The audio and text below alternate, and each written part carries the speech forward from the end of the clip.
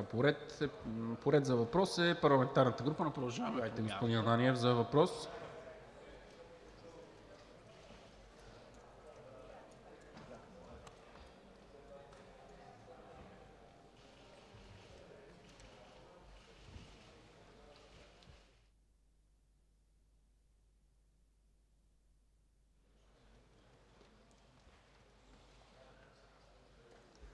Енергийната сигурност зависи от нашите диверсифицирани доставки на природен газ. Както знаете, ние успяхме да договорим много добри цени, много под европейско пазарните от САЩ, но добрата новина днес е, че това, което до този момент беше обвързано с изпълнението на гръцката връзка, за да имаме доставки от азерски газ, вече няма да е това факт. Ще можем да си получим цялото количество от азерски газ преди връзката да бъде финализирана още от 1 юли.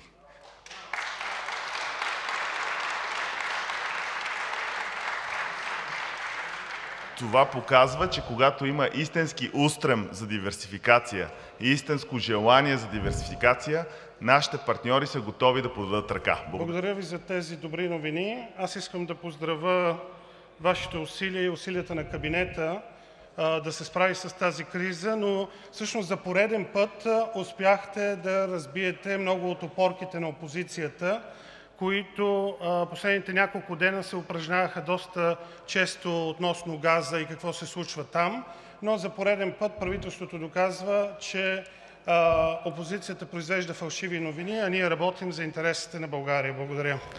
Уважаеми народни представители, да, потвърждавам думите си. Цената е по-ниска от тази, която купувахме от Газпром и сегашната цена, пазарна цена на Газпром. Да, и, и е директно ще бъде доставка от американска компания, без посредник. Между Булгаргаз и американската компания има в момента сключен договор, който дава тази доставка да бъде факт. А това, че не сте открили начин как тези кораби да бъдат вкарани в а, газовата система, значи нямате цялата информация. Мога да ви уверя, че и двата кораба ще бъдат не само доставени, но и вкарани в нашата енергийна система. Така че аз не съм министъра на енергетиката, може да оправите директните въпроси към него, но мога да уверя всички депутати и български граждани, че двата кораба ще бъдат доставени, вкарани в енергийната система на цена под тази на Газпром. Благодаря.